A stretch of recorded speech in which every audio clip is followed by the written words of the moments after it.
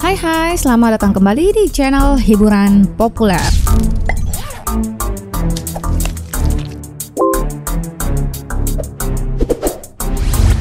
Jepang memang terkenal akan kualitas manga dan anime yang sangat bagus. Banyak anime Jepang yang menceritakan tentang samurai-samurai Jepang yang sangat mengagumkan.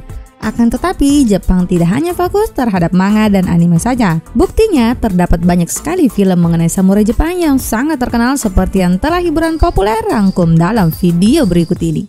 Tapi sebelum lanjut, kembali saya ingatkan jika channel ini akan mempublish video setiap hari. Jadi pastikan untuk menekan tombol subscribe agar kami bisa memastikan Anda mendapatkan update terbaru dari kami.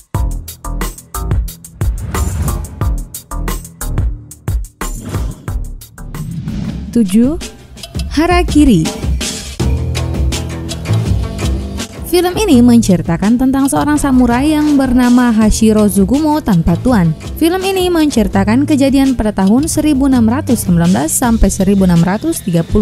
Film ini kemudian diciptakan pada tahun 1962 dan kemudian dibuat ulang sebagai film 3D pada tahun 2011 kemarin.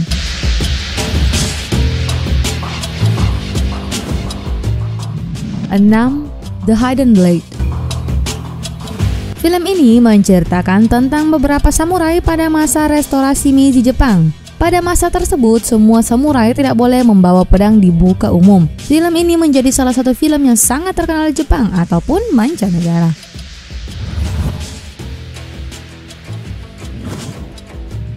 Lima, The Twilight Samurai menceritakan seorang samurai yang bernama Sebei Iguchi yang merupakan samurai kalangan rendah yang bekerja untuk pemerintahan. Diceritakan bahwa kehidupan Sebei yang sudah nyaman mendapat sebuah cobaan dan Sebei berusaha menyelesaikan cobaan tersebut. Film ini diproduksi pada tahun 2002.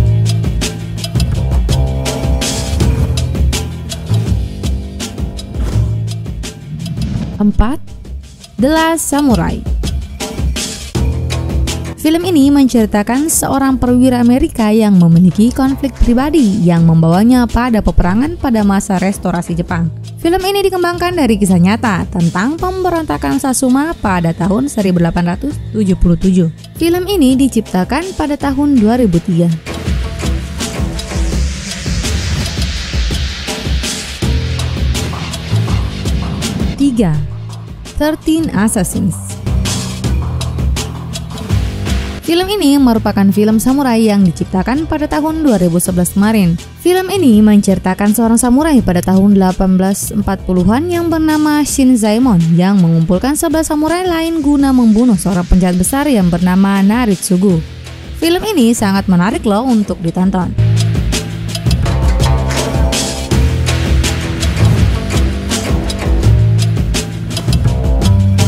Dua, 47 Ronin 47 Ronin merupakan film yang diciptakan di Hollywood pada tahun 2013, menceritakan seorang samurai Jepang yang memiliki keturunan Inggris.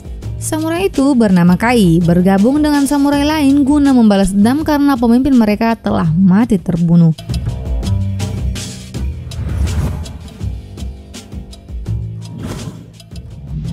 Satu, Doni Kenshin Rurouni Kenshin The Legends Ends adalah sebuah film samurai Jepang yang dirilis pada tahun 2014 dan disutradarai oleh Keishi Otomo. Film yang diangkat berdasarkan seri manga Rurouni Kenshin ini merupakan kelanjutan dari dua film sebelumnya, Rurouni Kenshin dan Rurouni Kenshin Kyoto Inferno.